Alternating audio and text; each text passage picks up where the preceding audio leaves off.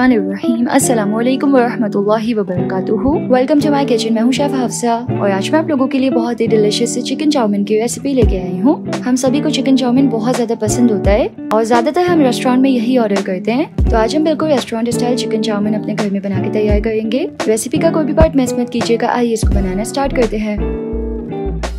तो सबसे पहले हम चिकन चंक्स बनाएँगे। उसके लिए हमें बोनलेस चिकन चाहिए और हमें चिकन को सिंपल स्मॉल चंक्स में कट कर लेना है। चिकन में हम ऐड करेंगे एक अंडा साथ ही इसमें ऐड करेंगे हाफ़ टी स्पून सॉल्ट यानी कि नमक। One four teaspoon black pepper powder one teaspoon soya sauce one teaspoon chilli sauce साथ ही इसमें टू टेबल स्पून भर के कॉर्नफ्लावर ऐड करेंगे। वन टी स्पून फ्लेवर के लिए चिकन पाउडर अब ना हम इस सबको अच्छी तरह से मिक्स कर देंगे। और इस तरह से हम चिकन को मैरिनेट होने के लिए छोड़ देंगे तकरीबन पंद्रह मिनट के लिए। अब हम चाउमिन सॉस बनाएँगे तो उसके लिए एक बोल में ऐड करेंगे two teaspoon chicken powder half teaspoon salt one teaspoon black pepper powder half teaspoon sugar अब हम चाउमिन में रेस्टोरेंट वाले टेस्ट और फ्लेवर के लिए ऐड करेंगे one teaspoon sesame oil साथ ही one tablespoon soya sauce half tablespoon oyster sauce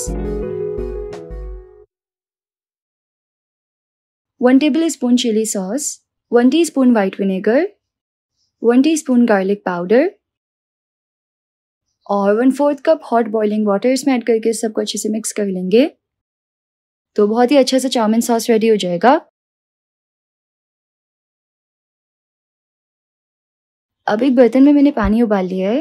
पानी में सबसे पहले ऐड करेंगे हम सॉल्ट यानी कि नमक। साथ ही हम पानी में हल्का सा सर्दी का रंग ऐड करेंगे। जो रेस्टोरेंट वाली नूडल्स होती है, वो हल्की हल्की येलो लगती है ना तो इसलिए हम यहाँ पे थोड़ा सा कलर ऐड कर लेंगे। अब हम इसमें ऐड नूडल्स ऐड कर लेंगे, तकरीबन 300 ग्राम्स तो देखिए, सारी नूडल्स पानी में चली गई हैं। पानी में डालने के बाद हमें इसको शुरू में इस तरह मिक्स करना है, वरना ये आपस में चिपक जाती हैं। चाहे तो आप ऑयल भी ऐड कर लें, लेकिन फिर भी मिक्स करना है। नूडल्स को हम आठ से नौ मिनट के लिए बॉईल कर लेंगे। तो जी नूडल्स अच्छी तरह से बॉईल हो चुकी हैं। अब हम नूडल्स को छान लेंगे और पानी से अच्छी तरह से वॉश कर लेंगे।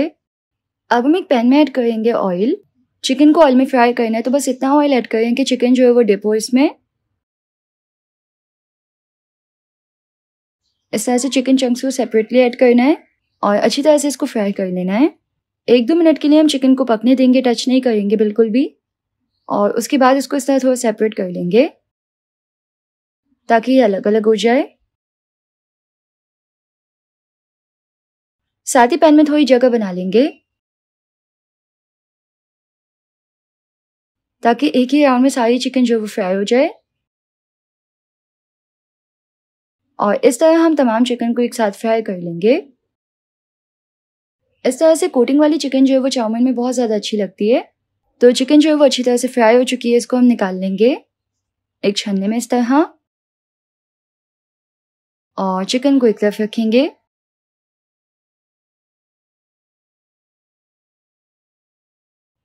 अब हम वॉक में से एक्स्ट्रा ऑयल जो है वो निकाल लेंगे। वॉक में हम सिर्फ़ फोर टेबल स्पून ऑयल छोड़ेंगे। ऑयल में हम ऐड करेंगे प्याज। एक छोटे साइज़ की प्याज को स्लाइस करके इसमें ऐड कर लेंगे। साथ ही इसमें one tablespoon fine chop किया हुआ गार्लिक ऐड करेंगे। अच्छी तरह से इसको साथे कर लेंगे। अब हम इसमें ऐड करेंगे अपनी फेवरेट वेजीज तो मैं यहाँ पे कैबेज और कैरेट ऐड करूँगी, यानी कि गोभी और गाजर। फाइन जूलियन करके ऐड कर लेना है? साथ ही हम यहाँ पे हरी प्याज भी ऐड करेंगे। सब्जियों को हल्का कच्चे पक्का से पका लेंगे। एक दो मिनट के लिए इस तरह से स्टर फ्राई करते हुए पकाएँगे।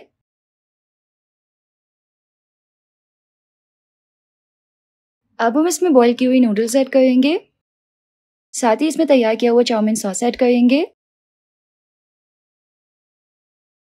और बोल में थोड़ा सा पानी डाल के ऐड कर लेंगे और अब हम सबको अच्छी तरह से मिक्स करते हुए पका लेंगे। बिल्कुल हाई फ्लेम पे इसको पकाना है।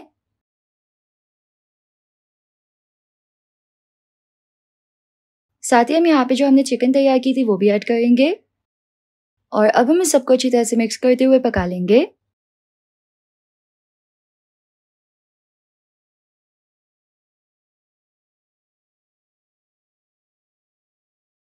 साथ ही आज की वीडियो का लाइक टारगेट है टेन थाउज़ेंड अगर अभी तक आपने लाइक नहीं किया तो लाइक कर दीजिए।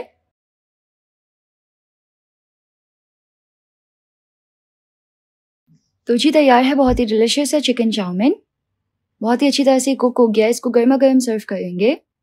साथ ही अगर आप चैनल पे न्यू हैं और अभी तक आपने सब्सक्राइब नहीं किया तो आप सब्सक्राइब के बटन पे क्लिक करके सब्सक्राइब कर सकते हैं। ये बिल्कुल फ्री है। और इससे ज़्यादा से ज़्यादा रेसिपीज़ मैं आप लोगों के साथ शेयर कर पाऊँगी। थोड़ी सी क्रिस्पी ग्रीन अनियन इसके ऊपर स्प्रिंकल करेंगे। तो एकदम रेस्टोरेंट जैसा हमने चाउमिन जो है वो घर में बना के तैयार किया है। इसका फ्लेवर बहुत ही अमेजिंग होता है। तो अगर आपको रेसिपी पसंद आई, इस वीडियो को लाइक कीजिएगा। यूट्यूब चैनल को ज़रूर से सब्सक्राइब कर लीजिएगा। मिलते हैं नेक्स्ट रेसिपी में, इंशाल्लाह। अल्लाह हाफिज़।